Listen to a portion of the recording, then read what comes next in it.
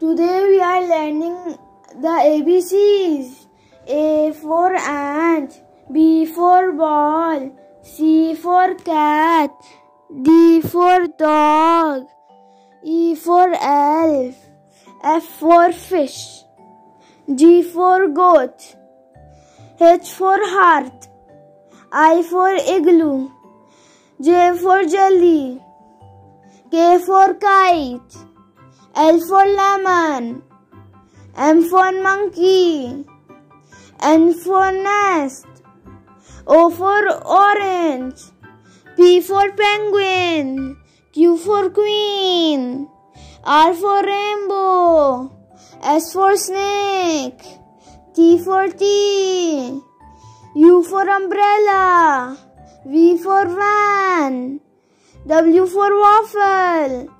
X for xylophone, Y for yo-yo, Z for zebra.